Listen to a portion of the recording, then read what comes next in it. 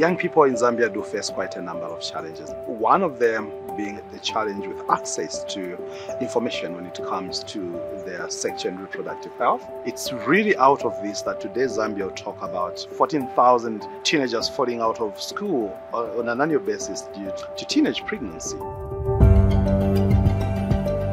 Providing adequate and age appropriate information for these young people becomes very key.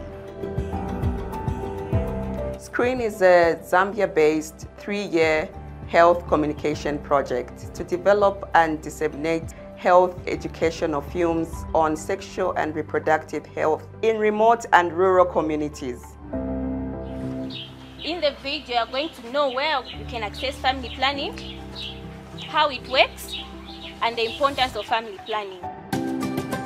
Partners will integrate the film content into their health programming, reaching audiences in the tens of thousands. Young people are so tired with the usual approach of engaging with them when it comes to health.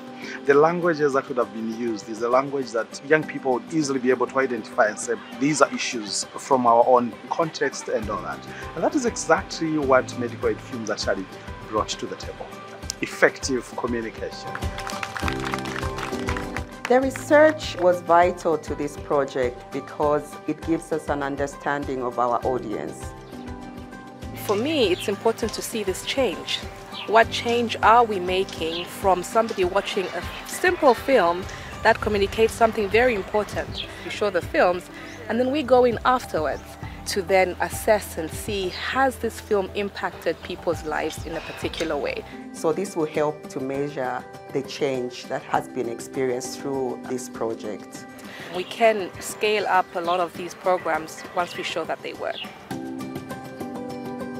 I think it's important that local talent was used in the production of Screen Zambia because young people are able to relate to the contributors and especially that the contributors are in the same age range and they have similar backgrounds.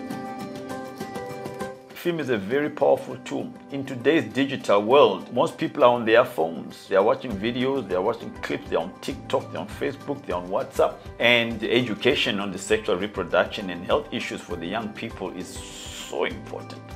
Film is something that grasps people's attention. This program brings excitement, brings innovation, brings a positive response out of our target audience who are very used to seeing traditional ways of communication.